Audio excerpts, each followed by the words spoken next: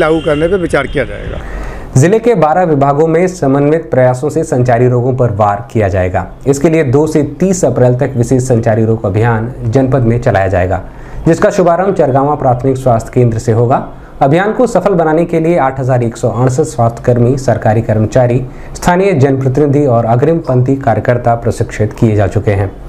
यह जानकारी मुख्य चिकित्सा अधिकारी डॉक्टर आशुतोष कुमार दुबे ने प्रेरणा श्री सभागार में पत्रकार वार्ता कर दी। होने जा रहा है। उसके लिए हम लोग यहाँ एकत्र हुए हैं।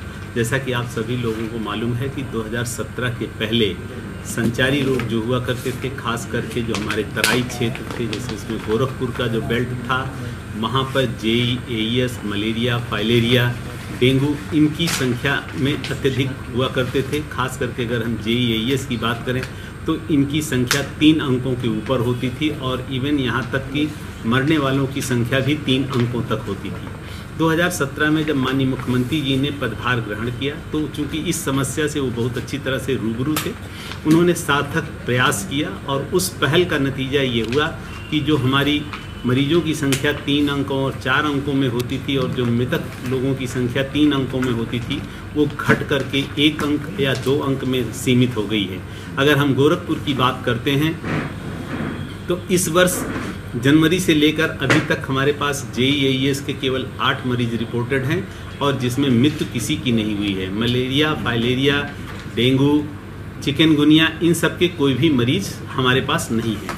ये सरकार का एक समेकित प्रयास होता है, जिसमें विभिन्न विभाग, जैसे कुल 12 विभागों का सहयोग लेकर के सरकार जो होती है चार चार महीने के अंतराल पर संचारी रोग नियंत्रण का एक महाअभियान चलाती है। यह एक महीने का महाअभियान होता है, जिसमें एक माह तक जो है विभिन्न विभाग, जैसे हमारा नगर विकास विभाग, ग्रामीण विकास विभाग, हमारा शिक्षा विभाग, वन विभाग, उद्यान विभाग और पशुपालन विभाग, सूचना विभाग, सभी लोग मिलकर के काम करते हैं, सब लोग कार्य करते हैं।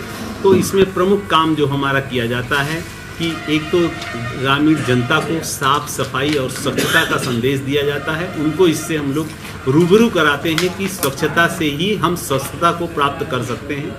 ये